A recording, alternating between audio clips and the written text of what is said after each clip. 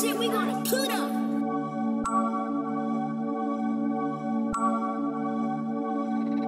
Yo, Craig, what's poppin'?